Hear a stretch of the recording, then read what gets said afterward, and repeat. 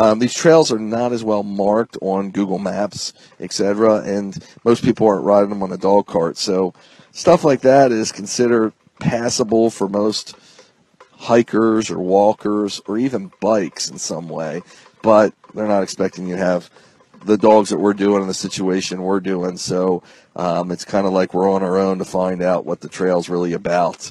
But it's all good. We've got all the proper precautions uh, built in, so they say, and we handle it as it goes. So right now, folks, I'm going to give you a, a, another brief description. I am the Wolf Driver, driving my team of Huskies, four dogs right now, through a trail in Pennsylvania, probably somewhere 50 to 100 miles out of Philadelphia.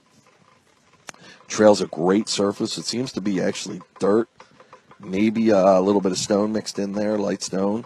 Great for the dog's paws.